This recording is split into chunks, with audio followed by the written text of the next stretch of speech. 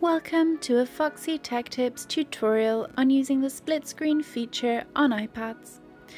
If you find this tutorial helpful, please consider subscribing to my channel and liking the video.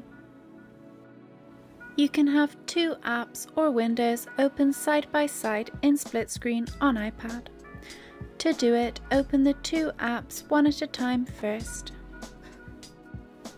Have one of the apps open on screen then go down to your dock, simply drag the second app into one of the sides of the screen and drop it there, and it will open it in split screen view. There will be a divider between the two windows which you can drag either way to make one window bigger or smaller.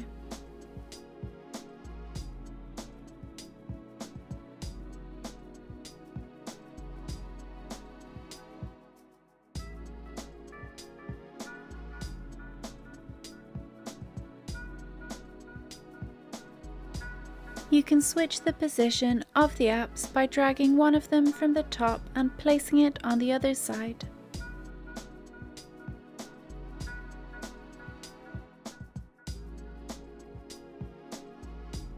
You can also do slide over on an app by dragging it and placing it on top of an open app, not at the sides.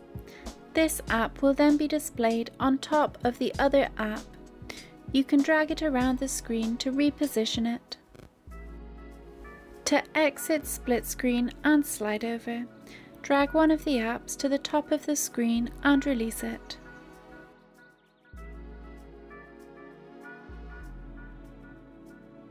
And that draws an end to this tutorial. Please like the video if you found it helpful and subscribe to Foxy Tech Tips for more iPad tips and tricks.